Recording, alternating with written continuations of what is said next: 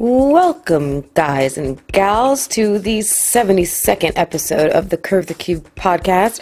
Curve the Cube is uh, intended to inspire you to pursue your dreams and really do something that you're passionate about with your life, um, whether it's full time, part time, as a hobby, whatever it is. Find something you love and make sure you do it.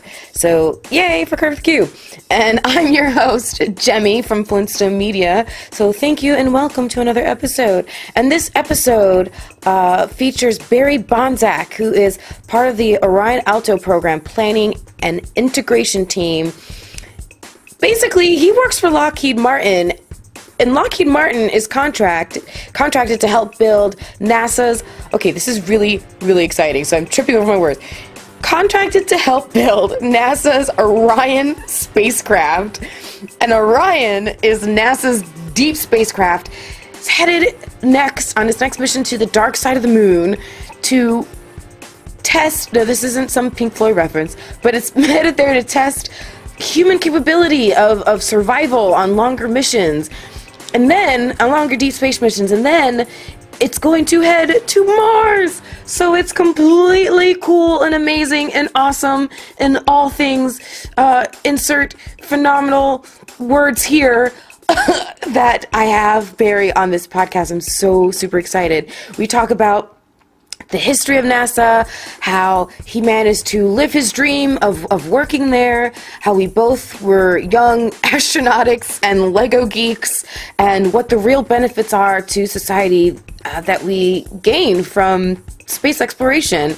Spoiler alert loads and loads of technological advances. Um, basically, a lot of things that you and I take for granted every day would not exist, or at least would not exist yet, if we hadn't had the pushes that uh, NASA NASA forced us into by what we wanted to do with space exploration. So it's really really cool.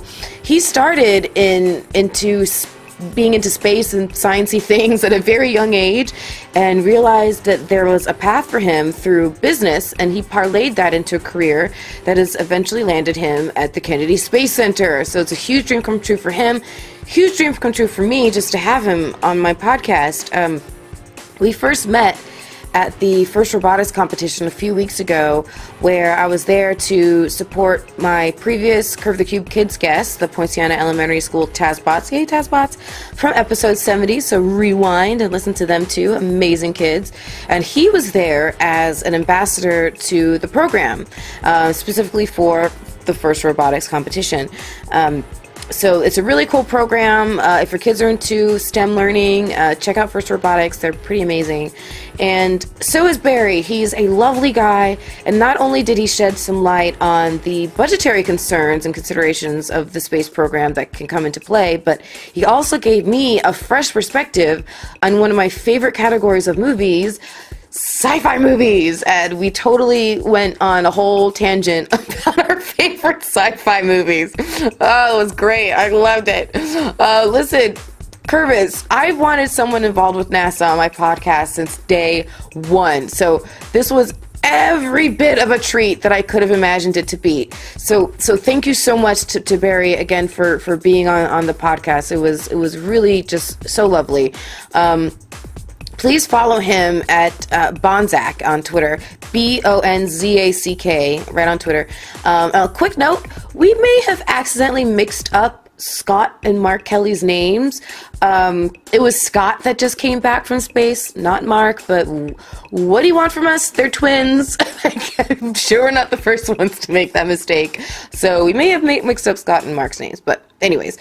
Um, Moving on, this episode of Curve the Cube is sponsored by Big Brain 2, No Hard Feelings Tattoo Shop, uh, owned and led by legendary tattoo artist and personal friend Chris Blinston. Um, you may have most recently caught Chris Blinston on the uh, uh, season six of Ink Master. He was the second runner-up and just did an amazing job. He should have won, in my opinion, but to each his own, and the past is the past. It's time to move on. But head into a shop, experience a different level of tattooing. Mention Curve the Cube and get, get 10% off. And go check out his episode because he was also on the show, uh, episode 31.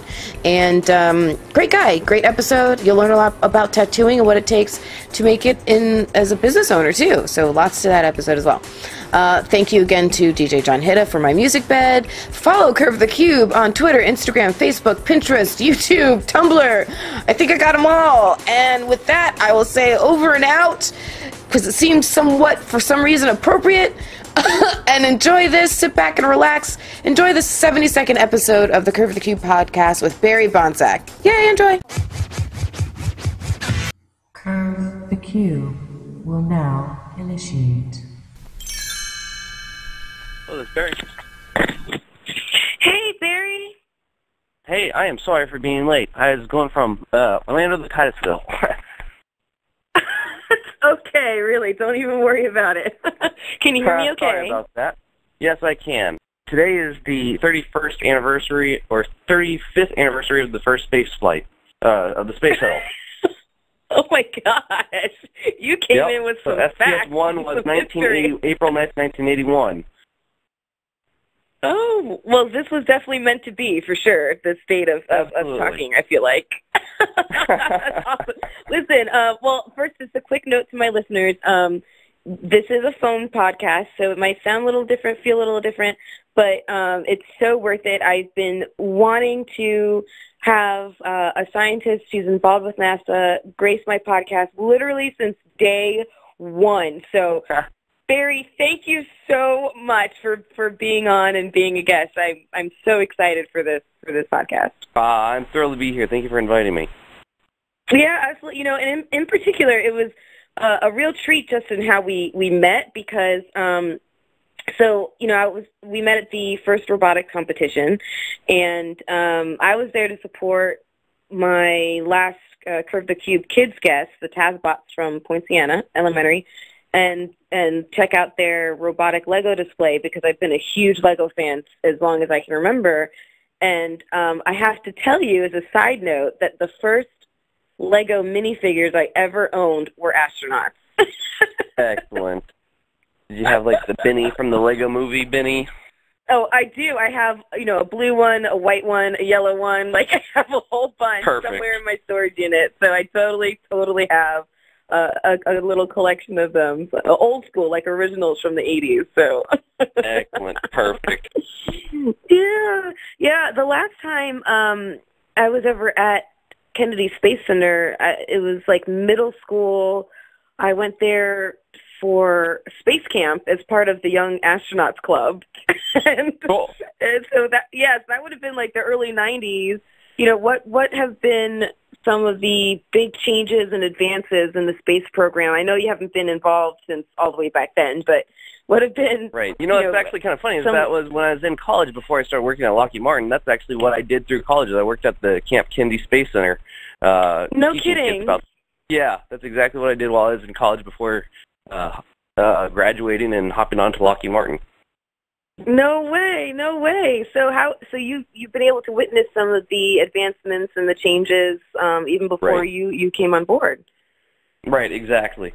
Yeah, so as yeah, my job used to be to tell people about how awesome at what the time was when I was in college, what the Constellation program was. Uh, and that was Mhm.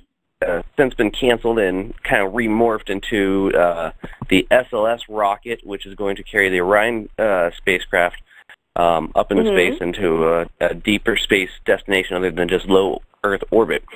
Um, so what we've been doing basically throughout the shuttle program was all low low Earth orbit um, different missions, including building the International Space Station, trying to figure out how long uh, people can survive in space. Uh, that's not exactly a Right. good synopsis of the mission, but that is one of the most recent things that we're doing. We just had Mark Kelly come back from uh, the International Space Station, uh, living there a full year in space, and now we're just kind of uh, checking to see how how he's doing after that, and uh, because eventually we're going to have to go deeper uh, into space, and if we have to go to Mars, there's a good probability you have to go from um, the Earth gravity to no gravity, Mhm. spend a long Mhm. time in space. Then you go to one third Mhm. gravity on Mars. You're going to be there for maybe six months. Then you go back to no gravity, and come back here to Right. one. And we're just not sure how that kind of stress, how the human body is going to handle that kind of stress. Um, right. But let's see. So like with some of the Mark Kelly, I know that when. Oh, I was just gonna say with Mark Kelly when he came back because he has a, a twin brother. So they, you know, they're able to do like kind of an A/B test with the two of them. And I know that Mark Kelly grew a couple of inches when he over his year in space just because of the lack of gravity. And I think it's now he's now kind of compressed back down. But I thought Yeah, that was yeah, I, I heard about you know, that too. That's like kind that. of a common thing that happens with astronauts. The uh, spine elongates, and then yeah, gravity back. yeah, that's something that we're still trying so to. crazy. I, I hear the the medical um, people were still trying to figure that out because the compression part actually caused some back problems for the astronauts after they returned. Oh, yeah. I I don't know that Mark Kelly yeah. has, but I, I heard that that actually is something that some of the astronauts have had some trouble with is the recompression of the spine. If it doesn't compress just properly, that's going to give back problems. One more right, to right, get that makes sense. Right, and then I also heard, um, you know, speaking of medical science and, and, and its involvement in NASA, that they're going to start growing like different, I don't know if it's fungi or fun, fungi, however you, you, you say it, but different, Right. you know, drugs um, on the ISS in order to like facilitate these future really, really long space travel expeditions and and the needs of the astronauts on these on these trips. And I just thought that was that was so neat you know like you know I think what's awesome about the space program in in its entirety over its its whole history is all the technology and advancements and things that we've had that they've had to do in order just to uh, accomplish what needed to be accomplished. But then on the flip side as well like everything that that the actual explorations and research has actually allowed us well not us i have nothing to do with it but allowed Right, right, the, the, and the doctors humankind, to humankind, accomplish on humankind. like, right right. Humankind to accomplish on the flip side too. It's it's i mean can you can you e- explain to my listeners a little bit of the significance of of nasa and space ex- exploration and all the, the research that that people have been able to do over the years Sure. The whole point of going into space is to improve life back on Earth. We're not just going out there for, you know, the, the joy of astronauts being able to do tumbles and the fun things that you see them do in videos, throw food around.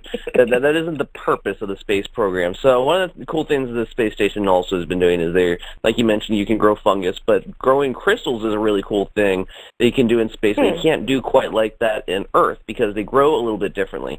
And the fact that they grow Mhm. differently means that you can uh, create medicines in space that you can't create on Earth. So we're doing research on no that. way Uh, you can you can also grow different uh, things to make better superconductors. If we can make better superconductors, that means we can make faster computers. If you make faster computers, Wow. that will affect everything. I mean, um, the advances that we made back in the Apollo program, we were using Mm-hmm. resistors for things. The, the technology that we needed to get to the moon when John F. Kennedy said we need, we're going to the moon didn't exist at that time. right So we had right to pour uh, funding into it to make that happen. Well, what we got out of it was just huge technological advances that advanced um, technology.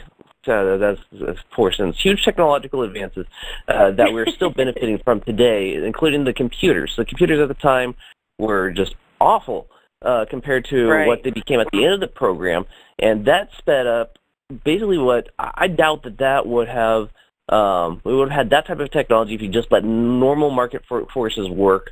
Um, and I, I, I'm trying to think. I'm, I want to give a number here, but I don't want to be quoted on because I haven't done any research on it specifically. But let's just say that that right advanced right uh, technology for computer sciences about 15 years into the future just from that small little investment that we had Wow. for the space program so we could advance program. I mean, we, we basically came up with semiconductors uh, that allowed us uh, to be able to go from uh, the Earth to the moon. And if you take that same Mhm. technology and apply it to other places, you start getting uh, better computers. I mean, we're doing vacuum tubes. At the beginning of the program, we were doing resistors and vacuum tubes. At the end of this program, we had computing computers. And if Wow. we didn't make that investment, think about that. We would. I'm not saying we would still be doing vacuum tubes today. Of course, eventually it would have advanced and caught up, and right uh, right right I don't right think we'd be there yet. So if let's say it it certainly kickstarted 15 it Exactly. So let's say it put us 15 years into the future. From if we didn't do the space program, we'd be back 15 years. So what would that mean we would be today if we were set back 15 years? Well, about 15 years ago, I that was 2001. In 2001, Mhm. I remember um, people were just starting to get their cell phones. Cell phones did not have Right. the internet on them yet. Uh, Right. 15 back years in the future, the internet was invented in the 1990s. Well, the internet would have been just invented about 10 years ago. There would be Right. no tablets. There'd be no, uh, you know, just think about everything that the information has just exploded. The information age exploded in the 1990s, and that would have just started Mhm. happening in the 2000s. And like we would still not have like smartphones today without that investment. So I'm wondering if we decided to do the Apollo program or something similar today, not go to the moon, but pick your next mission, whatever it is that will Mhm, advance the most, put us another 15 years into the future from that investment, what is that going to get us? Right, right. I mean, you, you mentioned um, the ability to build build better resistors, for example, in space. Is that is that exclusively because of the lack of gravity, or is it also because of the, So, they're able to do things in a vacuum environment? Two different things. What they're doing on the space station today is they're working on uh, researching different crystals, which will help to build uh, new types of semiconductors and that sort of thing. And I, I can't Mhm. even speak about that because that has nothing to do with what I do. This is what I've read. I'm telling you this from, from a, read from other other sources just because I'm a geek and I'm interested in it. Um, that's great. yeah, but um, what? So that's one thing that we're doing today. But going from resistors to computers is something that they did from uh, when they announced. You know, NASA became uh, an organization from normal. It used to be an Air Force, and then they went to uh, NASA. Uh, went from NACA to NA, NASA. Um, and from that point to when we landed on the moon, we were doing resistors around the Mercury spacecraft, and the computing power wasn't up to par at the time. So from Mhm. um, 1961 to 1969, huge, huge computer advancements happened, and that was here on Earth Mhm. where that happened. That wasn't in, we didn't go in space and then build new computers. All that advancement Right, happened here right. on Earth. Right, right. So, so touch on the for. I mean, because when I met you, you gave me like a a two three minute rundown of everything you're involved in, uh, both professionally and in your free time that has to do with space and science and and everything, all that interest. Can you can you give that give that rundown again? Yeah, sure. Okay, so what I've been sharing with you so far up to this point uh, has all just been things that I'm interested in that I read about, not necessarily anything that I actually have any impact on. Uh, Yeah. My job, uh, I work at Lockheed Martin at the Kennedy Space Center. Mm-hmm. Um, I'm on the Orion program. So I wasn't a part of the space shuttle or the Apollo program or any of that, but uh, I work on the Orion program. And I'm Mhm. a program planner. I meet with the uh, engineers and I help them basically with their schedules and their budgets. And engineers don't like doing either of those two things, so that makes me the least popular person in the building.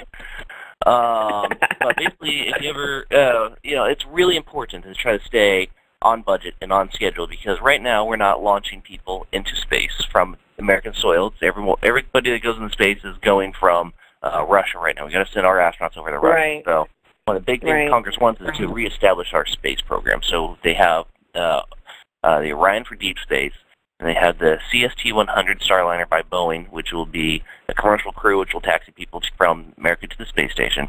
And then we have SpaceX, which is their Dragon capsule, which will also take people from uh, the from Earth to the space station.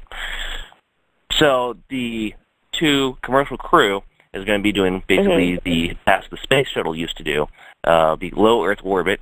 Uh, we have invested enough tax dollars into the space station, into learning how to get to and from Earth orbit to where we feel comfortable that we can spend that technology off to the commercial sector. What we have not Okay. done yet to where is deep space. We did it with the Apollo program, but only a few missions. But we are definitely not. We have not gotten to the point where it's safe enough to let commercial start going and do that. And quite frankly, it takes so much investment that if you don't have tax dollars and the government investing in the big missions, hmm you're not going to have a private company that is going to do their financial analysis on it to say yes, this is going to be something that is going to eventually generate profit. But Mhm, there are mhm. definitely things out there. And I, one of the things I like doing, I am I have a finance major from the University of Central Florida. I like to relate things back to people so they can understand why is it that we need to invest in this. Um, right. so yeah, one of the big arguments is we are destined for space. It's our manifest destiny. Humankind eventually needs to leave planet Earth and go populate the rest of the solar system. Uh, the other uh, thing that you tell people is that uh, we are explorers by nature. You know, we left, uh, you know, all Amerigo Vespucci, Christopher Columbus, uh, Lewis and Clark, all the explorers. That's just it's in our blood to explore. But the problem with those Right. arguments is that when you have to tell people um, about the uh, tell people, yeah, I'm sorry that you're unable to eat, but we want to invest all this money in the space program. It kind of falls Right. on deaf ears at that point if somebody, if a family is struggling to survive. What people do Right, understand is if we invest in this, it's going to create much, much larger uh, products and things that are going to help your life, and it's going to give you give the country as a whole more wealth than what we had invested in this. And that is Mhm. just the very basic economics uh, for anything. You want to invest in things that will create more wealth, not less. Right.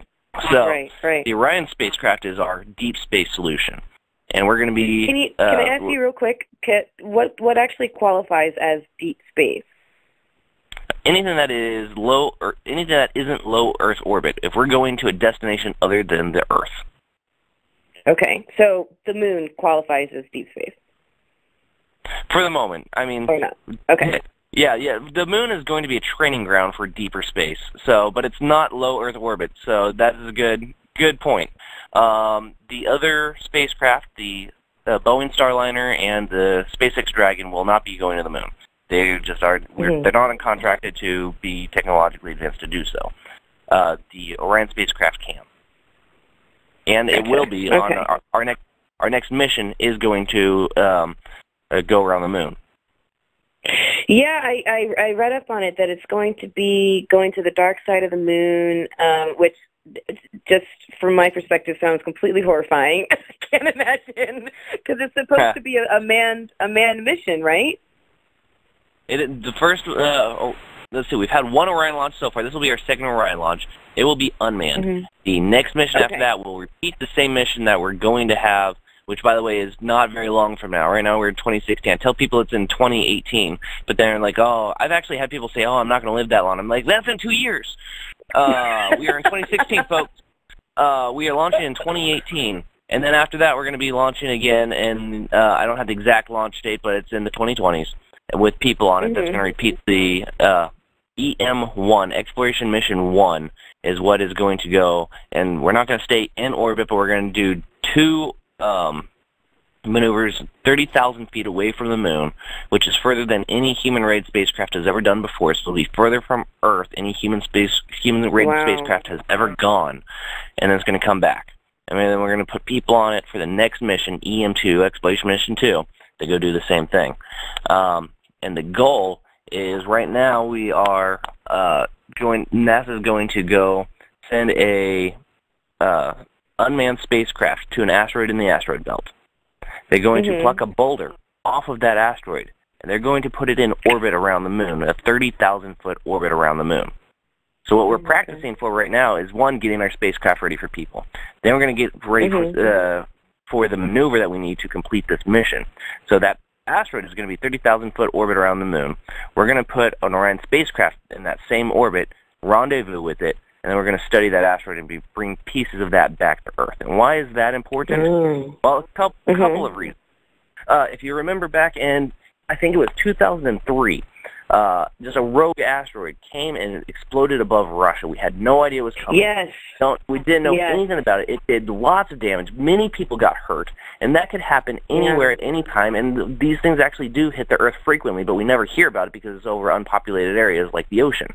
But if one of those Right, did right. explode above, let's say Los Angeles or New York City, it would cause millions of dollars of damage. Lots of people would get hurt, and we don't know Mhm. anything about them, how they get here. Uh, and it's a good thing that you know the one was small enough that didn't even hit the ground. It didn't even hit the ground. It exploded in air, and the shock wave is what did the damage. Right. Right. I remember that they had because Russia has so many of those dash cam videos, and so there were a lot of dash cam videos and footage of of the actual event occurring. I remember that. Right. So that was one of the things that helped. Uh, this mission was already in process, but it happened to be voted on like the week after you know, should we go do this mission? If he, at that time we were just like, ah, yeah, go do that. uh, but that's not the main. We want to basically learn a little bit more Barry? about. Uh, can you still hear me? Hey, Barry. There you go. Can you hear me this time? Excellent. Yeah, that was so weird. I think we need to um, get the space program to apply some spacey new technology to conference calls. Yeah, that's one of the, the great things that came out of the Apollo program was an awesome saying that, uh, you know, if we could do blank, why can't we do? Why if we could go to the moon, why can't we do blank? That's just one more thing that you can have to list. We can go to the moon, but we can't get a conference call Exactly. that'll stay. Whatever it is. But hey, just hey, we're back on. We're back on. excellent. I believe Yeah, we were, were talking, talking about, about asteroids and uh, the importance the of why we of should the go study asteroids. yeah. Yeah. Okay, so I think we left off um, with the uh, asteroid that exploded over Russia that caused lots of damage, hurt a lot of people, and that could happen anywhere. Uh, but that's not, Right. of course, the only reason. We want to know just more about the solar system itself. What are the asteroids made of? Uh, we have, from studies that we're doing here on Earth, we've pretty well figured out that there are some asteroids up there that we should go try to visit and mine resources out of. In fact, there are some commercial companies that are popping up uh, specifically to mine asteroids. And why would you want to do that? Well, for example, one asteroid that we've discovered out there has four times the amount of platinum on the one asteroid than is here Wow. located on all of Earth. Platinum is one of the most expensive metals there is, and it's also the metal that you use to create computer chips and semiconductors. And um, if you Mhm. want to create wealth, creating wealth is all about making something that is that you didn't have before. A lot of the resources that we mine, let's say the um, gold. You go and you find gold, and then you bring it out from under the ground, and then you sell it to other people, and then you have created wealth for Mhm. whatever uh, money you invested in mining gold. The amount that you sell it to other people for is got to be more than the cost to go mine it. That's going to be the exact Right. same economics and philosophy that is going to turn into space industry mining. Is that we need to get um, our launches cost down to a point and the cost of space travel down to a point to where we can uh, generate more wealth for not necessarily our country from tax dollars, but hand it off to the commercial sector to where they can go and bring these asteroids, resource them, get the, the resources from it back to Earth that wasn't existed. We're now creating wealth for the entire planet, not just one company or one country. We have gotten resources that wasn't on our planet to our planet to be able to be used for something extremely useful. I mean, gold. What is the useful use for gold? You wear it on your uh, fingers and it looks pretty. The uh, platinum. That's something that is going to be actually make our computers faster or make more computers, Right. better computers. Um, Right. And same thing. Let's Same thing with that to the diamonds. There's a, there's a lot of um, applications for diamonds beyond just you know jewelry and and, and such. Yeah, Exactly, exactly. So that is one excellent application for asteroids. Let's shift it over to the moon because uh, you know asteroids is one thing that we're doing. Um, there's also you know people. There's a lot of discussion. Should we be going to asteroids? Should we be going to the moon? Should we be going to Mars? Um, The Mhm. moon has a very interesting uh, topic because there's a, a couple things there. We believe that there could be some frozen uh, water maybe on the moon. Uh, there, there could be some Mm. water ice there on the moon. Uh, there could be hydrogen on the moon. If we haven't discovered it yet, but we are pretty certain it's there. And if we discover that there's hydrogen there, that means the cost Mhm. of going to the moon is significantly less uh, than any projection that is currently out there. Until you know that if there wasn't, if there was, that means okay, we now have the ability to mine hydrogen. There's even a possibility of something Hmm. called hydrogen three, which I do not know everything about hydrogen three, but it's something that could be used as an energy source that is better than oil uh, if we go Hmm. and get it and bring it back here. But let's say there isn't hydrogen 3, but there is just hydrogen. Uh, hydrogen 3 can't be formed on the Earth because of vacuums and low gravity and that sort of thing. I, like I said, I'm not a chemist. I don't quite fully understand it, but that's definitely a topic you should, you should go look into. Um, Right. Let's say there's just hydrogen. If there is hydrogen, that means we now have something that we can use, a resource on the moon that we can convert into water. We now have a resource on the moon that we can mine and convert into rocket fuel to leave the moon. We don't have to bring our own hydrogen anymore. Um, Right. And with that, that makes the cost of going to the moon very inexpensive comparatively.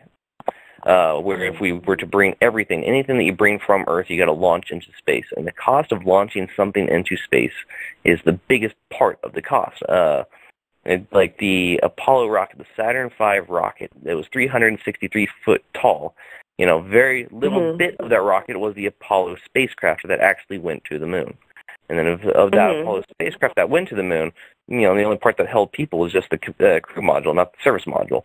Uh, so the more that you put into space, the larger the cost exponentially to get it up there. Anything that you can go to a Mhm. destination where you can mine the resources and then turn it into something that you would have had to have brought from Earth reduces the cost of the entire thing. Uh, so that's It's interesting because yeah, you're you're tapping into one of the questions I was going to ask, which is, can you hear me? Okay. Yeah, I can hear you. Can you hear me? Okay, yeah, I got you back. Okay, um, I was gonna, yeah, I was, I was curious about the bigger, some of the bigger challenges from um, an engineering or financial standpoint, trying to send, you know, some soft, fleshy human bodies into space, and then return Right. them safely to Earth, still alive. Um, you know, that's considerations beyond just mechanics at that point. Um, I can only imagine what those challenges look like. Right. Yeah, and a lot of that depends on what is the mission. So right now the mission, like I Mhm. said, is going into uh, orbit around the moon, rendezvousing with an asteroid, bringing, doing science and doing bringing science back to Earth. That is for the human body. I think we've pretty much got that figured out. That's not going to be more taxing than the, the space station mission. It's going to be about 29 days. 29 days is nothing for hmm you know what we've developed and research that we've done through the Apollo and Space Shuttle and International Space Station. We've check mark. We've got that. Um, the, some of the technological advances are some of the things, but we believe that we have all the technology already exists to go do this. We just need the funding, and funding being coming from Congress. Interesting. So, Yeah, so what to, do you to think? do a mission like that? um, There, there's mhm. no big, you know, there's nothing I can see is putting something in orbit around the moon and go sending someone up there. We we got to develop a spacecraft to go do it, but all the technology that in order to do that already exists. Interesting, interesting, because we've made so many advances already in all of those, Right. in all the fields that come together to to get that kind of a thing done. That's that's that's interesting. I really didn't know that that that we had come that far. That um, not not to say it's old hat, but that all the technology already exists for for doing something like that. That's that's pretty amazing. Now, if we start talking about Right. things about building a base on the moon or building a base on Mars, th- there's going to be some Mhm. technologies we need to develop to make that happen. Although I have read articles and other people have suggested that, oh yeah, we could do that within 10, you know, uh, not 10 years. We're planning on doing that by the 2030s. But people are saying, oh yeah, if we give us enough money, we could do that right now. No new technologies to be developed. That's not necessarily true. There's going to be some things that we got to figure out. Um, hmm hmm but I'm going to say probably 80%, you know, rough guess, 80% of the technologies for us to go from Earth to Mars already exist, and we've got to develop 20% Wow. of it. Wow, that's crazy to me. That is so crazy to need, me. we just need the funding. Need the funding. We got the people. What do you What do you We need- think? We got we, Yeah. we got the people. We got the smart people to figure it out. We just need the funding. Yeah. What do you think? Um, because you're a pretty young guy. What do you think? What do you think is is unique about the millennial perspective or, or influence on the space program and the thought processes that go into what we can and, and will do? You know, that is an excellent question. Um, and that's a really hard one to answer because I am not entirely sure what all the millennials think about the space program as a whole. I can tell you what myself and my friends think living at the Kennedy Space Center. Yeah. Uh, Yeah. But what do I believe that we're going to accomplish? I think the Mars generation at the Mars Gen. Uh, it's a Twitter account um, that is an amazing group that basically all the people that are between the ages, I think, like 16 and 30. I'm not entirely sure, 30 something. Um, all got together and discussing different things, and you know they're really good about social media as opposed to previous generations don't understand why social media even exists or why they need to use it. Right. Right. Uh, but th- Right. th- there's a lot of idea sharing going on and a lot of inspiration happening over the internet that never happened before. A lot of, uh, you know, when we launched um, Orion Exploration Flight Test 1 back in December uh, 5th, 2014, uh, Mhm. not, not very long ago, uh, we had 4 billion tweets and twitters and hashtags hashtag journey to the mars Wow. hashtag i'm on board hashtag orion at nasa underscore orion um, the there's we had four billion people talking about it at one time Wow. and that has never happened before so Right. i am extremely excited for the sls rocket launch and uh, eventually em1 and then EM2 with people on it because that is going to just explode. In fact, we were talking about for the next EM1 launch, there's going to be 100,000 people that is going to come to the Space Coast to see it, kind of similar to um, the last shuttle launch. There was 100,000 people that come to see the very last Mhm, shuttle launch. Well, that's going to start up again. Uh, and then when we start Wow. putting people on it, who knows? That is like taking, uh, here in Florida, our largest stadium I believe is the football stadium in Gainesville for the Gators. They can hold uh, it has seating capacity for eighty something thousand, but standing room only that can hold ninety thousand people. If you empty that Mhm. entire stadium at standing room only, and then add ten thousand more people, that is how many people are coming to watch this launch. Wow, coming up. incredible. Yeah, coming up in 2018. Hopefully I'll be one of them. At the end of 2018. oh, well, I'll, I'll definitely be there. There is no doubt in my mind I will be. Uh, Did you but, ever watch know, a that kind of- shuttle launch when you were a kid? I did actually, and I lived in Oklahoma when I was growing up. And my uh, my my parents are huge into space and technology, which is great because they aren't even you know they're not scientists or engineers. My dad works at a bank, um, Mhm. and but as a kid, his dad uh, they didn't live exactly in a um, rich area or anything like that. They they were one of the few families that had a black and white television at the time of the Apollo moon landing, and his dad brought Wow. in their TV and sat it in their class so they could uh, the entire class could witness the moon landing. Uh, so Wow. that impacted him when he was in grade school, and ever since then he's Mhm. been. Uh, when uh, my brother and I were growing up, we uh, went with my dad to business um, meetings that he had in different cities. We went to all the different cities' science museums. Um, and then when there was a shuttle launch, we actually tried uh, to uh, organize our some of our vacations coming to Disney and going to the beach with when a shuttle launch might be. Mhm. So I got to see some as a kid. No kid. kidding. Um, yeah, absolutely. And then, you know, at the time, you know, living in Oklahoma, you just go, wow, that's really cool. Too bad we don't have anything like that in my state.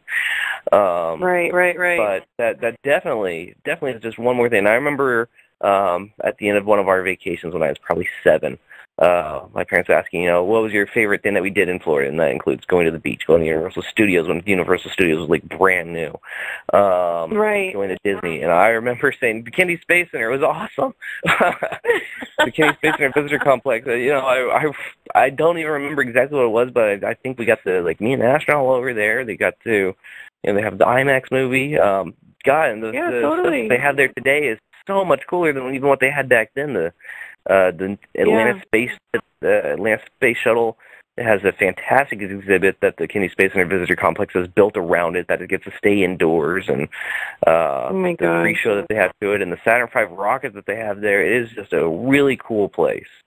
Uh, extremely Wow. inspirational. But goodness sakes, the most inspirational thing you could ever do for your kids is bring them to a launch. Even if it isn't a shuttle launch, has people on it. We're only launching rockets, unmanned rockets right now, but just seeing the flames and fire and looking at something Yeah. the last time that's here on the planet that for the rest of its life is going to be in space. It's an inspirational thing for a kid, and I encourage all people, whatever it is, bring your kid to go see a launch. It will change their lives. Absolutely. Yeah, it opens up it opens up your imagination to another whole nother level. You know, I think I I, I have a four year old and um I just took him uh for his fourth birthday we took him to Disney Disney World for the first time. And there's something about seeing seeing a whole different level of technology, even if even though you don't at that age know what that word is or have ever heard that word, have a concept of it, but seeing something brand new that you've never seen does something to your imagination. It elevates it to a whole nother level. You know, whether it's um uh, you know the different. I mean, the, Disney World is just doing some incredible things. Epcot's doing some incredible. Well, not, they really need an upgrade, but they have done some incredible things.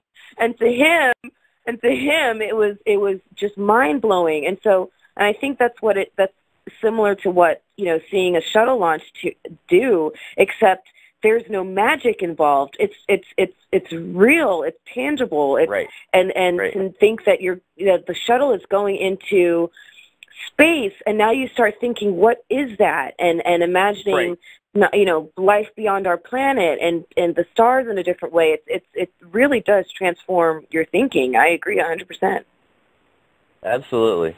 Yeah, that inspiration to kids is the most important thing that one that we can do because they're going to be the people that eventually are going to be going and doing these things that we're trying to set up right now. So we're building this Orion spacecraft for us eventually to go deeper into space. While the first person Right. that, li- that is going to put their first feet on Mars is living Oh. right now. They are yes kids somewhere, you know, between the ages of like five and fifteen. Um, yeah you know, with, within that range. And whenever I meet students, I tell them that just, hey, do you guys know, realize that the first person to step on Mars is going to have the same notoriety, same fame, mm. same household name as Neil Armstrong? That person throughout history Yeah. is going to be a legend. They are alive Yeah. right now somewhere. yeah And you know, were some if- of when I meet groups oh, of. When I meet groups of girls, I like to also tell them that there was recently a uh, study done by NASA that the, you know, if you were to send a crew of all men or crew of all female, which would be better? Um, and it's probably Mm. going to be a mix. But it, let's just in the scenario where you can send only men or only female, what would be the better solution? And they came up Mhm. with, well, they believe that the task will be done perfectly fine. Uh, so the mission is going to be accomplished the same either way. But it would Mhm. actually be less expensive to send uh, the female astronauts because it Hmm. takes less energy to make a female body run than it takes a male uh, body, which means they need to Oh, consume yeah, less yeah, yeah. food. If you consume less food, that means you need to launch less food. If you need to launch less food, that is a weight savings on the, Right, on uh, right. SLS rocket. Huh. Interesting, and and and less of a of a of, of need of of resources on the other side. You know, once you are where you are, you know, if you're talking about um, building a structure on Mars or where have you that is going to be, you know, a research facility or something like that, and having people be housed there at some point, you know, then go go girls because we don't need as much. As Yeah, girls in STEM. That's uh, important. Yeah. It's absolutely important, and you know it's kind of sad that I look at some of the statistics on uh, majors across the United States.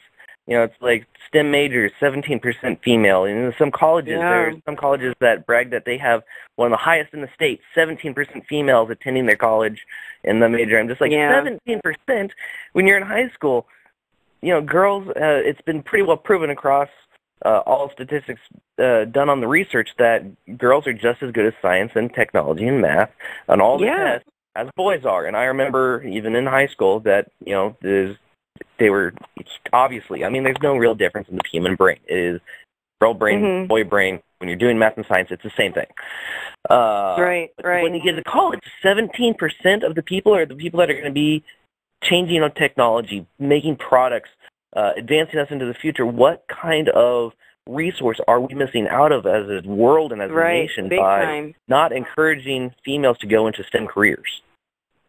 Big time. And and actually that was what um was part of what jazzed me up so much in talking to Natasha and Morgan, who are the two the two girls I spoke with on on that that Lego team from Poinciana Elementary, is just seeing their passion for coding and, and engineering and robotics and and building something and their commitment to it and their focus. And I just was I was so proud of of Right. them and what that meant for for their generation and and you know humanity as a whole that kids like this uh, girls like them are, are are just that jazzed i mean it it was really something something to witness and i um i thought it was interesting how the kids were just gathered around you um like soaking in your aura and your wisdom you know what were some of the Oh, things um There- that was that you were talking group. to them The- about. The Tazbots Yeah. uh, first Lego League team from Poinciana High School, as you They're mentioned. A fantastic Mhm. group of kids. All the uh, first Lego League kids and first Tech Challenge and first robotics competitions. Uh, I might as well throw out for first Lego League Junior. Those are the the four um, first organ- leagues I'll say that I um, volunteer with. Um, yeah and yeah, the kids just love meeting people from the Kennedy Space Center. It's kind of funny because I remember when I was a student, I actually started out as a student on a first robotics competition team. Um, Mhm. and I was extremely inspired by Dean Kamen, the founder of FIRST. He's also the inventor of the Segway and uh, many medical Oh, inventions yeah. like an insulin pump, and he's now working on a Slingshot, which is a water purifier that you can mobilize and take to a remote area. It'll produce its own electricity, but then purify any polluted No water source nearby. You just need to stick its one end into something that is wet, and out the other other end will become drinking water that's No like way. medical grade. Yeah, pure Oh medical water that you can the, for the entire village. To be able to pump Wow. out enough that, that for oh man, I'm trying to basically the entire village to be able to drink clean water. Wow. So he that's what he's working on, uh, and I was extremely inspired by him. But another person's name was Dave Lavery, um, and he is one of the heads of the uh, of NASA at the uh, Washington D.C. for anything that leaves planet Earth and lands on another planet. So all Curiosity, uh, the Curiosity rover, Spirit, Opportunity. Before that, you Mhm, had Sojourner. mhm. Um, he was one of the lead people in all of those uh, space missions uh, to Mars. And I was able to meet him. And I asked him for signatures, and it was just fantastic being able to talk to him. And I remember like being able to just talk to him was one of the first things that goes, Yeah. how cool is this guy? I want to be more like Yeah. that guy. What what do I need to Yeah. do to be like that guy? So what did you think you were gonna be when you grew up? What did you What did you dream of? What did you want to do? So before first robotics competition, uh, I started doing the first robotics competition in my junior year of high school. Uh, before that, Uh-huh. I did the science fair, um, and I was actually doing my science fair project in the math and um, the math category. It's like math and something else category. And I did it Mhm. on the stock market, and I did a lots and lots of analysis on the stock market for the science fair project. So that was just kind of my lead into science. Uh, you know, I, I didn't learn much about technology or science. My, you know, all through middle school, other than things that we did with as a family, there's not not a whole Mhm. lot of exposure at that time. Um, Mm-hmm. and that eventually, you know, I started watching robot battle shows on TV, um, and I thought, oh wow, well, robots are kind of cool.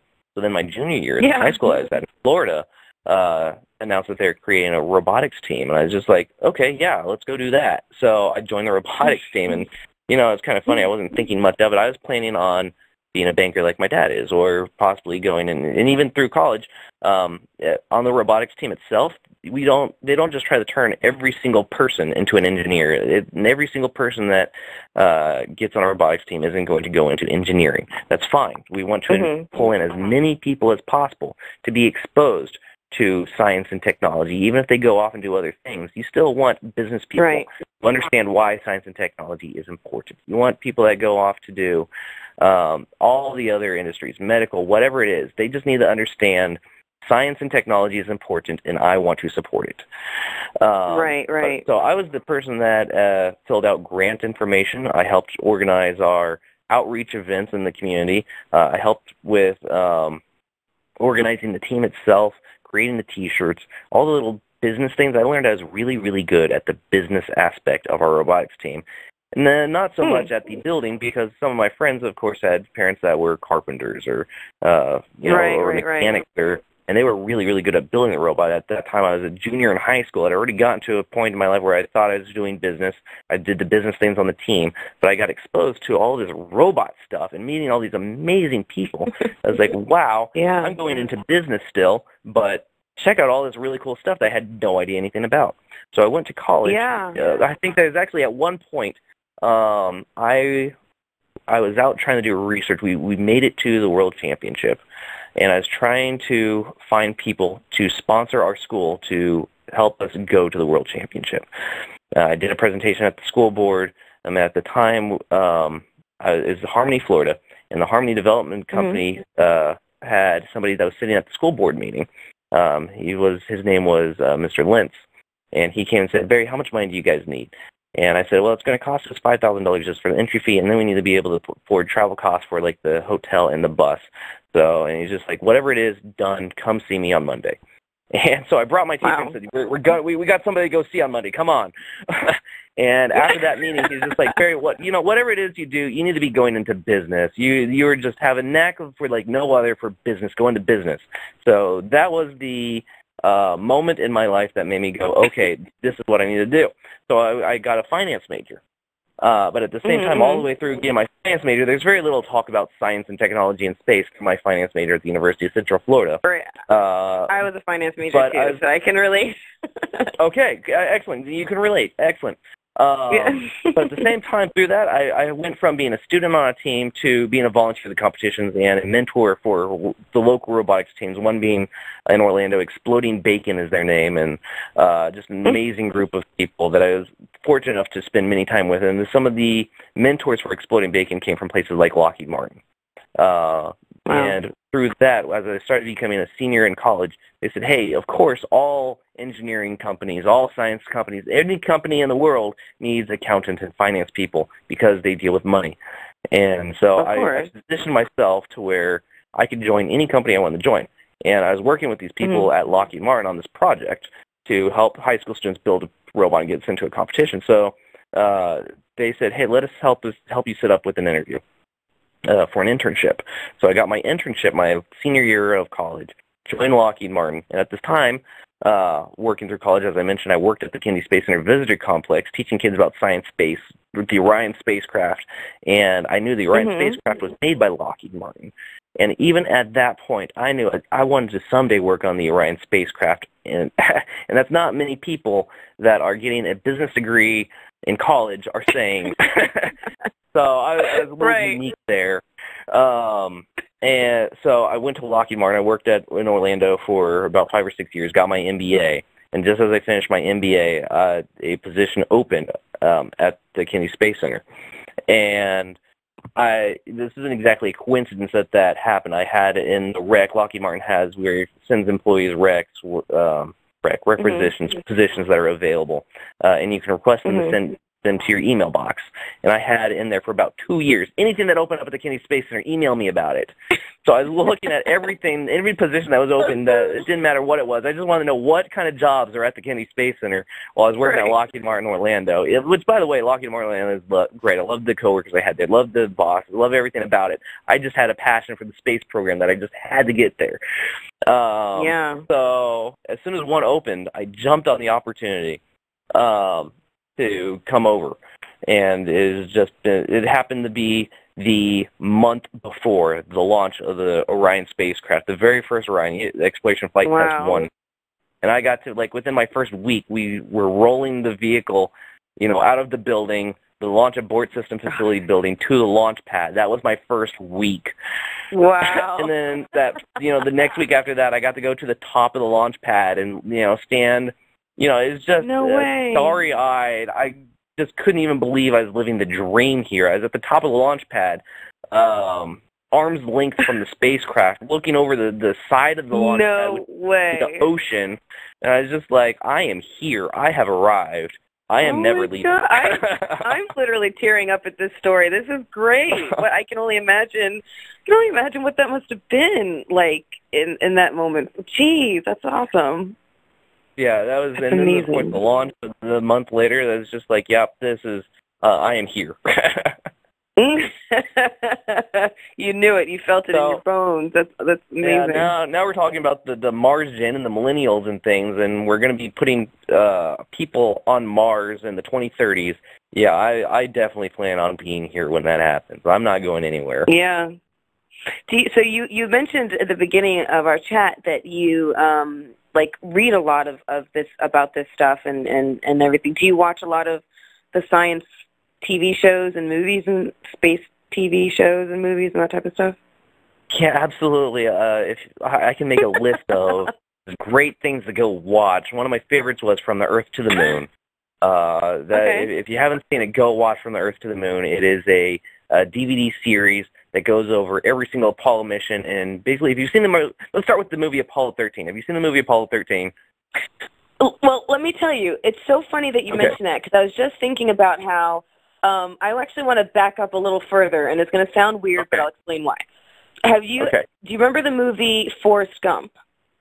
Yes, absolutely. Okay, so the movie Forrest Gump also starred Tom Hanks and Gary Sinise. And there is a scene, it's a New Year's Eve scene, when uh, Forrest Gump is first telling Gary Sinise, or I forget his name in the movie, uh, Lieutenant Dan, th- about his plan to own this to be a shrimp boat captain. And Gary uh, Lieutenant Dan says to him you become a shrimp boat captain um the day it the like I'll become an astronaut or something like that. And it was a joke and then the next movie they did together was Apollo 13 I actually I was didn't just thinking about that that is today yeah that is awesome. so yes, and actually, I remember watching Apollo 13 in the movie theater. Um, it was packed, and I got there like just before the show started. So I had no choice but to sit in the very front row, which I'd never done before in a movie. And I loved it because it was at first a little disorienting because the way that the camera shots are and everything, it's very, it, you know, they, they move through space literally, like, you know, uh, and and but it was neat because it almost felt like I was inside a simulator. It was really cool. I love that movie. that is my favorite movie of all time because it is a movie Wow. that not only captures the imagination and is entertaining and suspenseful, but it all actually happened. And Tom Hanks, as you know, uh, one of the directors of that movie, actually went and did things like refurbish the old Apollo simulators. They used the real simulators in the movie that were just laying around in the oh archive, no way! not working. He actually No way! yeah, got them got those things working again and shot the real ones for the movie. And they What? took the schematic I didn't know for that. launch for Mission Control and they actually made the the set exactly like the schematics for Mission Control. They had um people from the Apollo program like Dave Scott, Apollo astronaut Dave Scott was actually one of the the uh consultants for the movie and he was around on set almost every day or whatever. Um and he Mhm. said that he, he was walking around and he's walking around the set of the um launch control and he's like, okay, well, if I turn over here and make a left, there'll be an elevator there because that's exactly where it was in the uh, uh in Houston or just Yeah, so they yeah. they worked really really hard to make that movie Wow. uh as realistic and accurate as possible. And so Yeah, you know, I love yeah. the movie The Martian. The Martian is now my second favorite movie of all time, but just doesn't even come close to Apollo 13. Uh, well, I was I was going to ask you real. actually when it comes when it, huh? You go ahead. Oh, sorry. when it comes to like the fiction movies, like like The Martian or uh, Gravity or any you know Interstellar, any any any of the fiction stuff, um, are there are there knowing as much as you know about space and science, are there com- common things that are wrong that that just are just cause a gripe and makes you just kind of go like roll your eyes a little, or do you still get to really Anything enjoy that it? involves people going into a black hole annoys me a lot. if if the sci-fi revolves around going into a black hole and ending up somewhere else, uh, right. And you know what's funny is that you know that that's my gripe. But you you can watch. There's a YouTube out there for gravity that Neil deGrasse Tyson explains the science behind gravity, and you know they actually try to do some science things. But I'm just like, it was just so far off because like we, we believe that there's a possibility that we could create a wormhole where you could go inside one and then end up somewhere else in the universe. But there is absolutely Yeah. no way I think humankind will ever get to the technology to where we first we have to get to that other place first, and to get to the nearest star would take multiple generations of lifetimes just to get there. It's just it's not going to happen. But if you go into a black hole specifically, you, you get crushed into absolutely nothing. You get, In, infinite infinite density. Exactly. Like yeah. yeah, yeah, singularity. And what does that mean? Who knows? But it's just anything. But then uh, the whole. Ah, I, I just can't even uh, explain how annoyed I am with going into wormholes. So that's not real. Don't do that. Um, you know, I like I like okay, I was movies that have doing it tomorrow, but I'll check that off my list. good, good. Well, if you're making a, if you decide to make a movie, don't do that either. Okay. Um, anything that involves alien life, I enjoy alien movies, but just the fact that there's an think there's life in the there? movie. Do I think there's life out there? I think we need a lot more research. And if you know, one of my favorite movies is Contact. Contact is a fantastic movie, and a great quote from that oh movie. yeah, that's You know, the if- one with um Jodie Foster. Is that the Jodie Foster one? I believe. You know what? I believe so. I'm so pop culturally pop culturally challenged. I am not able to answer any actor or actress. I I know the name Tom Hanks. I can say Tom Hanks. Uh, but other than that, I am so lost on pop culture, uh, and I'll admit it. Um, but anyway, one of the great great quotes from that movie. Uh, if there isn't anything else other than us out there, it's an awful waste of space. But Mm. who knows? Who knows? What And about- what about, that, like- that can go into a huge like religious conversation too that I'd rather not go into. But here's what we right, know: right, right, here on Earth, there is life on every single part of this planet. You can't go pick a leaf out of or you go into the desert and not find bacteria somewhere. Anywhere that there, there is ice Mhm. puddle of water, there is life there. And what we do Mhm. not know at this point is is did are we sitting on the jackpot winning winning lottery ticket and we believe all other lottery tickets are also winners because this is the only thing we know? Or is it Right. that you can go to anywhere else that has water life or ice uh sorry, uh liquid water or ice water or other forms that could be substitutes for water that we know water here, but maybe, you know, a pool of methane is enough to make life uh, Right, place. right. I was just going to say. Is it something that inevitably happens? Yeah, and is is life spreading across the universe? We don't know. Uh, so I Mhm. can't say. You know, my belief is the best knowledge that we have that I've read about, and that could say yes or no either direction. And the no Yeah. argument is a pretty strong argument too, because we could be living on the winning lottery ticket of the entire universe, and we don't know it.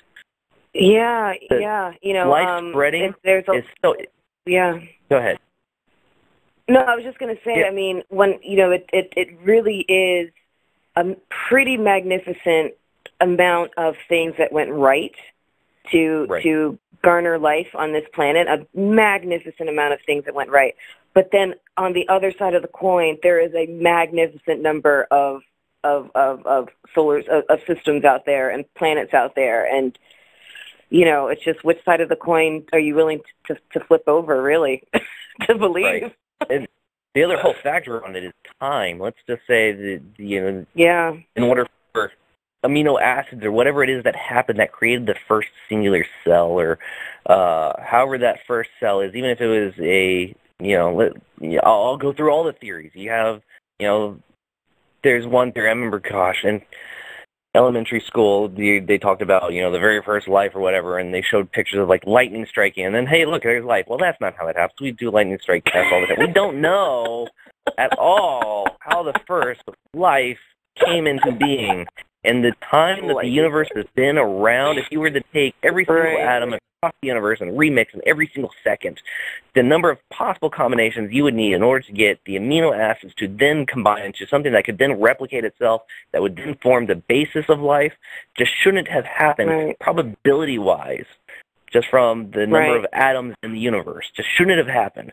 So the assumption that our galaxy has life, seeing that Earth has life, that other galaxies have Mhm, life, is a pretty big step. Unless that is Yeah. some, there's something natural that we don't know about that makes that happen, that then is able to spread across. But let's, you know, there's also the assumption that let's say Earth is the very first place to ever have life. Okay, can life get from here to other places? Well, the gravity of Earth makes that very difficult. So let's just say if we go right. to other places like Mars or Europa, uh, the moon of Jupiter that has um, has liquid water there. Just because we get there and we find liquid water, that doesn't mean there's life there, but there could be life there. And if there is on either of Mhm. those places or anywhere else that we go, it is much more probable that life got here from somewhere else. Maybe a, a chunk right. of, uh, uh, you know, maybe it formed somewhere deeper in the universe that uh, got collided into with somewhere else, and it, life got frozen inside of a uh, ice cube of some some kind asteroid that deep inside over that asteroid that then went yeah exactly that exploded somewhere over the ocean that that landed and then there happened to be the right. And you know there's also the probability that light uh, that some life can go up into the uh, upper atmosphere. Some bacteria can go up there single cell organisms uh, that weigh nothing uh, that can float way up or let's say an asteroid hits earth and then part of our uh, in the early development of the planet. Uh, part of our Mhm. planet flew off deep into space to then come and then re-hit the Earth. There's been multiple events during the creation of Earth that we could have had life, but then something happened that all life was probably extinguished. And we Right, probably right. have been reseeding Earth, and this is something that I learned from Neil deGrasse Tyson speeches. Uh, there's a probability that we had that we had life that it got extinguished, and then we replanted life. We being Mhm. earth, earth Earthlings, um, Mhm. and, and that could be something that you know maybe it, one of the things that struck Earth that came from Earth struck something else instead. Maybe there could be life there too. Who knows? If we find life somewhere right. else, I, you can't conclude that just because we find life somewhere else that it's all over the universe or all over the galaxy or anywhere else in the solar. And just the fact that we have life here on Earth doesn't mean that you're going to find it anywhere else inside the solar system. So that's a really Yeah. good question that I know nothing about that I think is one of the most important questions to ask that we absolutely, you know, that that is like the question. And let's say that we do find single cell organisms somewhere else here within our solar Mhm. system and we do decide the fact that okay, life anywhere that there is water there is life. Let's just make that check mark. Okay, we we now decide that that is now science fact. Well, how many Mhm. other galaxies out there have water? How many? How long have they Right. been around? Are there any civilizations that you know we've only been on the Earth for, you know, how many millions of years? Uh, life has only been Right. on Earth for how many years? What about some of the plants that have been around for billions of years that have water? You know, what do those civilizations Right. look like? So you you you know some of these sci-fi movies that involve aliens are you know okay I can I can Highly intelligent. And, and, Yeah, yeah. Uh, you know, I'll, I'll I'll give it to you that there's a possibility that there are highly advanced uh, aliens out there, but then how the heck do they get to our planet, or why would they bother with our planet? I mean, if they're billion years in the future, if they've mastered space travel, that'd be like you know one of the things Neil deGrasse Tyson says. That'd be like us going over to a worm digging in a hole. Just go, oh man, what kind of technology is it using? We are extremely interested. We need to visit this worm. You know, they would probably just pass us by and just go, yeah, have fun with your But you know what, orbital though? orbital satellites. the concept the concept of it makes some for some really great movies. Absolutely. I happen to love like I I just saw uh, a preview. I didn't even know they were making it that they're coming out with another um Independence Day. Um so you know, I love I love movies where there's um not just space and science movies, but anything that involves I don't know what it says about me, but anything that involves like massive amounts of like destruction. I think I just I love those Yeah. kind of movies. And Excellent. so I'm really looking forward to, wa- to watching this when it comes out. oh, like I said, I There's another movie that I hear that's going to be coming out. There, there's um, they actually just did some filming at the Glenn Research, the NASA Glenn Research Center in their wind tunnel. Uh, there's going to be a movie coming out. I don't know much about it, uh, but one of the women involved in the science of the uh, Mercury program back in the 1960s, and it's the story about uh, her and how she was able to get involved. That's a movie I'm looking forward to. Those those real movies that actually have um, science behind them that actually happen that really do have really great stories. Those are the movies I love. But then, of course, I like historical precedent movies. Yeah. Yeah, absolutely. Or at least, even if it's not historical precedent, that's if it's at least realistic and can happen. That is that's extremely enjoyable. When you start going into things that are ex- uh, going into black holes, I just go, okay, this, there's no basis for this anymore. Uh, let's say, okay, have you ever seen the show Firefly? I'm going to use that show as a great example. No, I've heard of it, but I've never seen it. Is is that is it good, bad, or other? I've never I've never I don't know much about it. I just heard the name. It lasted like a season, I think. Uh, and then there was a movie. Both are amazing. Uh, it's like a it, they take a western, uh, just any normal western series, and put it in space. And it's a very weird combination of sci-fi and western. But one of the cool things about the show Firefly is that they go all over the galaxy, go to many different planets, and but the only thing that there's uh, that there is out there are other humans, and it is a set Hmm. in a time period way, way, way in the future where we've mastered space travel, but there's no Mhm. aliens, people, and we've populated many different people. planets. We've formed trade routes, and yeah, but it's just people. And I think, wow, for sci-fi, what a novel thought to just have people there, and just how Mhm, do people mhm. interact in a in in a uh, universe where there is no other life but people. Interesting. So, so The Martian, and you you gave it rave reviews. You think um, it was scientifically feasible? that Yes, movie came absolutely. from a good, and a good Weir, realistic the author, standpoint. is an absolute nerd. He did his research to the T of, you know, what a mission to Mars would be like, and what would ha- he even like research what would the contingency policies be if something happened. Uh, and, and yeah, he he did a fantastic job. I I don't like that the movie changed the ending of the book. That bothered me a lot. uh, Mhm, mhm. But the science. But don't give it away because I haven't seen it yet. Believe I- it or I not, won't. I'm, I'll- I'm ashamed to say I haven't seen it yet. second best movie of all time next to Apollo 13. Go see it. Um, Duly noted. Duly noted. it, it is it is there. It is a very realistic of if we went to Mars, and what the movie actually did really well. I like. I read the movie. Uh, I'm sorry, I read the movie. I read the book. I watched the movie. Both are fantastic on their own right. Uh, a lot of you know book snobs say, "Oh, the movie wasn't as good as the book," and I'm going, "Yeah, this movie is actually just as good as the book." If you are general audience for shoving something down into two hours, they captured the best parts of the book. They took out a lot of the the sciencey, nerdy, technical. The book gets really technical, which I enjoy, and a lot of the engineers I work with. The fact that like an engineer, I was actually uh, Bob Cabana, the director of the uh, Kennedy Space Center. I was at an event where he was speaking, and I got five minutes of his time Mhm. afterwards. I talked to him, and then one of the things he did was he recommended, "Hey, go read this book before the movie came out." I'm just like, okay, if a former astronaut and director of Space Center is telling me this is a good book, I should probably read this book. yeah. Yeah. so Definitely. it- it- it- uh, across the board, all the engineers I talked to go, yeah, that was a good book, or yeah, that was a good movie. Uh, and you don't hear a bunch of engineers saying you that for Gravity or for, um, oh shoot, what was the other one? Not Gravity, the um, Interstellar?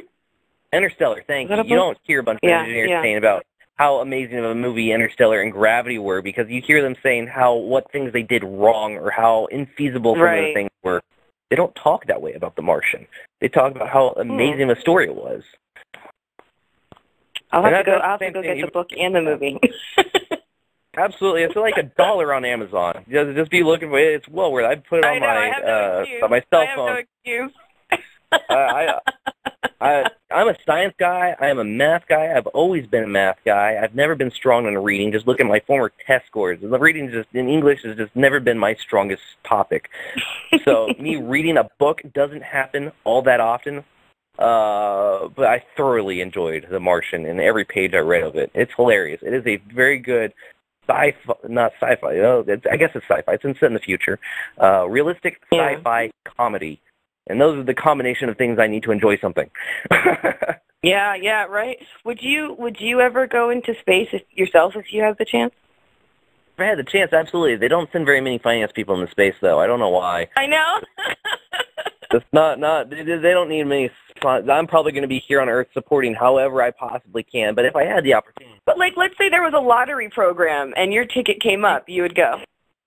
yeah, absolutely. I- I'd go on any of the spacecraft, Starliner, Orion, uh, even the Virgin Galactic spaceship, whatever number it'll be at that time. Right now, they're doing Spaceship Two, uh, whatever. Even if Yeah. it's suborbital flight, I absolutely would, no doubt about it.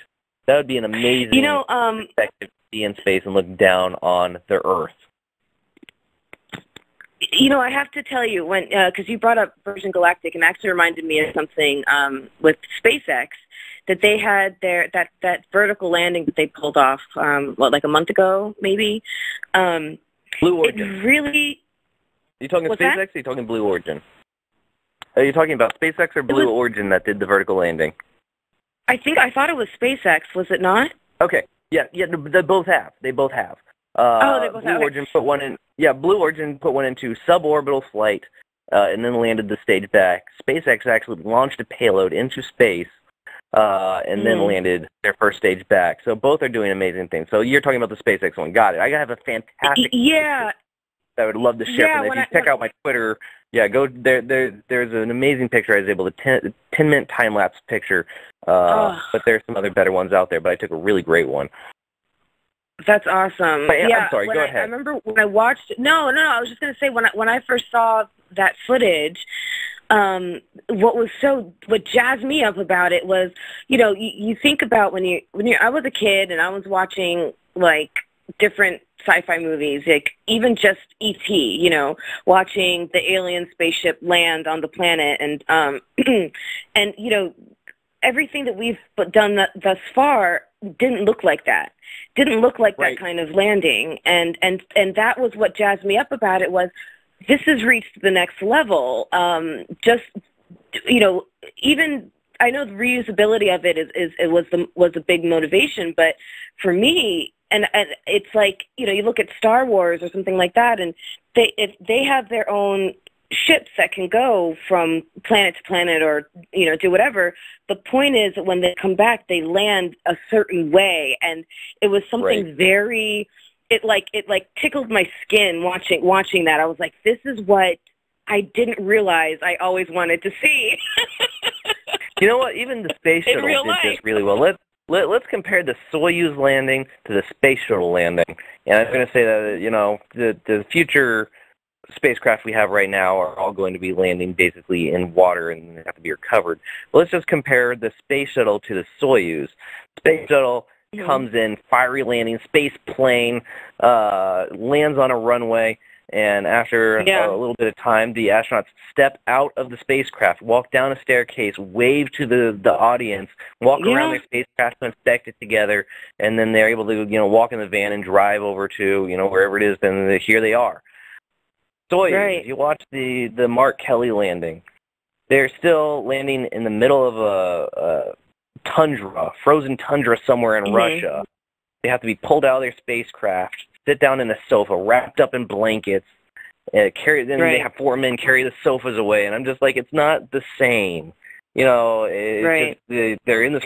It's zero degree weather, and you don't bring zero degree clothes with you to space and uh, back down to where you land. So you got to get like in this giant right right sofa and sleeping bag looking thing that just it just doesn't look right. I'm with you 100%. Um, Yeah. And then when we, you know, we're going to be landing in the ocean, there's actually some really cool technology that we did with the um, EFT1 recovery. Um, so they land in the ocean, which is again, like you said, not the same thing. You're not landing on land just yet, and the reason why we're doing that is because you'd have to launch the landing gears and all of the systems in order to land on land. Um, right and that weighs a lot. And that extra weight is extremely expensive when you're talking about, you know, it has to go all the way to the moon and then come back. Uh, Right, so right. there's reasons that we're not doing that, even though originally we were talking about landing in Arizona vertically and having the astronauts step out of the spacecraft and, you know, wave to the crowd. That was originally the idea. Uh, weight Mhm. savings on that, though, it's just so much cheaper to land in, on water and then get be recovered. Um, in the Mhm, future, mhm. let's say you know that's, that's going to be the, what we're going to be doing through exploration min EM1 um, through probably five, and then we might think about some things like reusability of the spacecraft. When you're sitting in a Mhm. giant ocean of salt water, does not lend well to reusability. So at some Right. point, right spacecraft future, we're going to need to think about how can we reuse this thing and send it up into space multiple times to bring the cost down. And there's a lot of technological challenges there that we haven't quite figured out that I think is worth an investment in research and development to figure out to bring costs down to make spaceflight cheaper, which we are cur- not, currently Yeah. not doing. Right now we're just trying to get the spacecraft certified to go with people on it to the moon, get some missions done. But it's definitely something we should look at in the future to land the spacecraft not in the water but on land and you know it, make it look exactly like it should look in the sci-fi movies. yeah So, but the What- really cool what- things about the uh, recovery of the Orion, though, EFT-1, we actually had one of the Navy ships that has a hull uh, that recovers uh, different things, and we use it for the spacecraft, and it actually sinks the entire ship down into the ocean to where water goes into the ship, and you can bring the uh, the spacecraft floating on top of the water into the ship. The ship then raises back up, you pump all the water out, and then you have the spacecraft sitting there.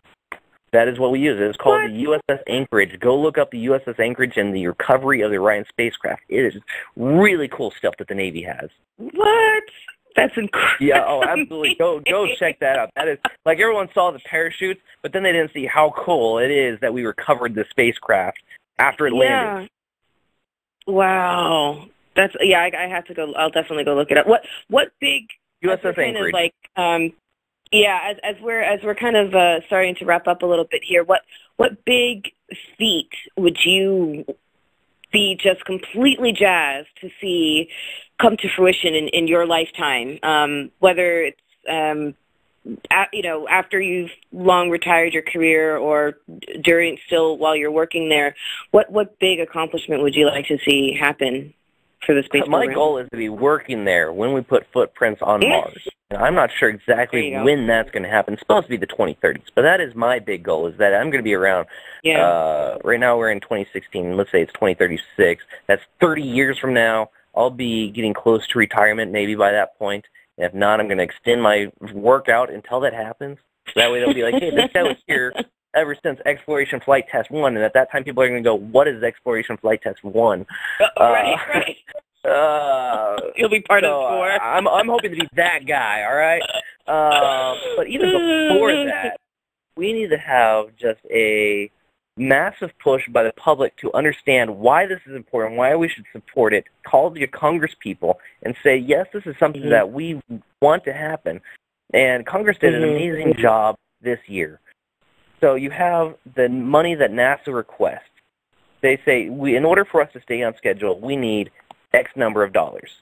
Then we have our Mhm. president comes and say, okay, I understand that you need that much, but I'm not going to give you that much. I'm now going to give you Y amount of. I want to give Mhm. you Y, which is X minus, you know, however many millions of dollars. So the president traditionally has been requesting less funding than what NASA is saying we need in order to continue developing our spacecraft to put people in space to do further explorations. Uh, and I, I find that terrible. Uh, but then Mhm. Congress comes back, and they're actually the ones that set the budget and just say, okay, we understand NASA wants X. Obama only wants to give us Y. But we're actually going to give you Z, which is significant, which is a couple uh, Millions uh, more million dollars less. more, millions more dollars than what NASA even requested. And what's amazing about that is that you know we put in some challenge. I mean, we. I'm not NASA. I'm Lockheed Martin, but NASA put in challenges saying we think we can stay stay on schedule if we can overcome some of these challenges with the number of amount of money that they dollars that they gave. But then Congress Mm. came and gave even more than that, and they just said, "Hey, that extra amount of money that you're giving us takes care of those challenges that we had set in stone uh, for us." That we Oh wow! So Congress gave actually more. Interesting. they gave they gave more. Uh, so if Congress Wow. keeps doing that, we will be on time. We will be on schedule and on budget, and we will get there. If we shift Yeah. to a position that Congress is matching what the president is asking for, we're just not going to get there. And if a new president So, comes in, uh, let's say Obama goes out, and a new president comes in, and they hit the reset button again, and they say, ah, forget this whole Orion spacecraft. Let's forget. Let's just do something else. They just hit that reset button, or decide that we're doing changing the mission on us. Anything that can happen, it's going to set us back so far. We just need Yeah. support with what we are doing. That is the main So thing. how? we are So on the mission to Mars. what can my yeah what can my listeners who want to show you that support and do something and help move that needle? What can they do? call your congressman and thank them. The amazing work that they did Okay. to provide us the funding that they provided, just call them and thank them and just say, hey, we live in your district and we just want to say we appreciate the support that you've given the space program. Please keep doing that. That is all Okay. it takes. And when Duly you vote, noted. yeah, when you vote there, let's see, planetary, uh, I'm, I'm trying to remember, the uh, planetary resources, I think. There, there's a website out there that actually tracks all the things that the presidential candidates are saying about the space program. Um, and I'm not Mhm. going during your call. I'm not going to go into politics or anything like that. But there, some of the pres- uh, candidates have made quotes that are concerning. Uh, go find Mm. quotes all the different candidates have said um, about the space program. And the, the concerning part to me is how few quotes there are at all. How little people are Yeah. talking about um, and how believe you. unimportant some of them, yeah, how unimportant the candidates have put on the space program. And you don't really do that until you're in a state where it matters. But the states that it matter, Florida, Texas, Houston. Okay, Texas is probably going to go one direction always, but um, Ohio and Colorado and Florida are three states that are big into the space program that will have huge implications if you increase or decrease the budget. And guess what? Three states are huge swing states for a presidential candidate. It is important for Right. them to start talking to these states about uh, why they would be supporting or not supporting the space program, and, and that will have a pretty good effect on quite a number of votes. Uh, but for your Yeah. listeners, just call your congressman and thank them for the support that they gave the space program. and ask them to continue doing that uh, throughout their tenure there and vote the direction that will put other people like the ones that we currently have into Congress that specifically have voted well for the space program, uh, which I, I, know that that's going to be probably not a popular thing. Congress has one of the fewest um, popularities right now of any Congress ever, but for this specific mm-hmm. topic, mm-hmm. they're doing a really great job. Well, it's good to know. That's good to know. So, thank you so much for for that that uh, piece of homework for my listeners who um, you know are really going to be interested in, in helping however they can. Um, do you want to sign off the podcast for me? Uh, I'll tell you how. Sure, it's absolutely. Really oh, hey, one more thing. Bring your kid to a rocket launch. That's oh, yeah, the other thing. Bring your kid to a rocket launch. That's that is one oh, of the most yeah, important things totally. any parent can do. The other homework yeah, assignment. Yeah, influence the next generation. Yeah, influence the next generation to uh, also give a, a hoot about about absolutely. About go, bring them to that and go to a first robotic competition, whatever it is. Get your kids involved in the science and technology. Robotic sports will be a huge pathway uh, for for future students. Yeah, absolutely, absolutely. So I 100% 100% agree. Um, yeah, I couldn't couldn't have said it better. So, uh, yeah, to sign up the podcast, all you're gonna say is, uh, so how exactly do you pronounce your last name? Is it is it is it Bohnsack? Is it Bohnsack? How do you say it? Yeah, Bohnsack. Bohnsack. Okay, so you're just gonna say yep. this is Barry Bohnsack um, of Lockheed Martin, or however you want to introduce yourself. Um, and this has been Curve the Cube. Curve the Cube. Yep. Okay. So you you can I give it a practice run before doing it? yeah, go for it. okay. Uh, are, are, we're still recording now, but do you like edit this, or is this all one podcast? Not really. It's Not really. okay, then I'm just gonna I'm gonna do it. Shoot I'm just gonna do it once then. okay, thanks. Uh, this has been Barry Bohnsack. You've been watching Curve the Cube. Uh, I'm going to do it again. This is Barry Bohnsack from Lockheed Martin at the Orion spacecraft, spacecraft at the Kennedy Space Center, and you've been listening to Curve the Cube. Yay! Good job! You've been seriously. You've been a fantastic, fantastic guest. Um, you're Absolutely. everything I hoped you would be. I was so excited to have you on and uh, to pick your brain, and you've you provided so many different insights. And what was interesting is you gave a, a, a very different perspective, being that you're on the financial side of things, and that's a lot of times something that we don't think about uh, too often. Right. And you gave you gave people who even just are in business generally uh, some some good nuggets to chew on, and um, and of course just had my brain in a frenzy when you were talking about all the movies and and all the sciencey techie stuff. So thank you so much for being on. Absolutely. Hey, invite me back when we get closer to the uh, Exploration Mission One launch. Uh, when people start buzzing about the Orion spacecraft and what it is, yeah, invite me back, and I'd be happy to talk to you. Or I'm, I'm trying to think uh, what the next big milestone is going to be that I could talk about for you, and we can talk a little bit more specifically just about the Orion spacecraft. That'd probably be good. Yeah, um, yeah, so, absolutely. So one of the things that I do. I, I help with the schedule. We're going to be um, right now. We're working on the Exploration Mission One spacecraft, and that's going to be we're putting secondary structure, which is more. We, we get a pressure vessel from Michoud assembly facility. It comes here. We put stuff on it, and then we go put you Mhm. put put in a, a pressure test, which basically we inflate it like a balloon to make sure it doesn't pop, and it's not going to pop while it's in Mhm. space. Um, Right. And then after that, it goes into propulsion welding and different uh, things. But we're going to be actually receiving another Orion spacecraft. So at one point, um, starting in Octoberish, we're going to be working on two Orion spacecraft at the same time in the same building. So Wow. that'll that'll be definitely Hopefully cool. that doesn't get Uh, that'll confusing. definitely be cool. yeah, I'm really yeah, looking forward that to sounds that. amazing. I'm sure you Oh, are. wow. Yeah, yeah. It's just it's the, there's a lot of buzz right now in my building. It's really great. It's really good to see.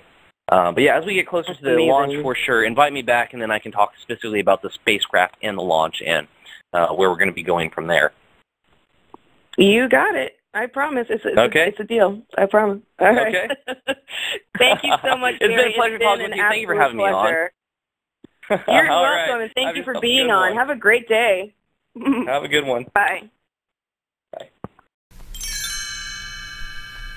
You have successfully curved the cube.